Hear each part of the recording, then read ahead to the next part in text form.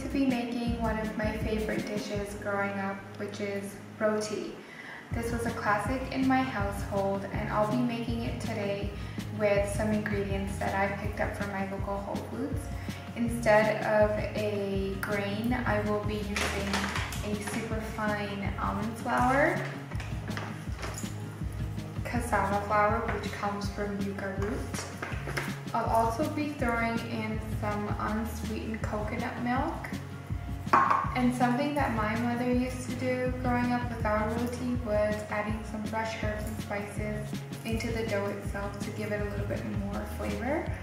So I'm so excited to make this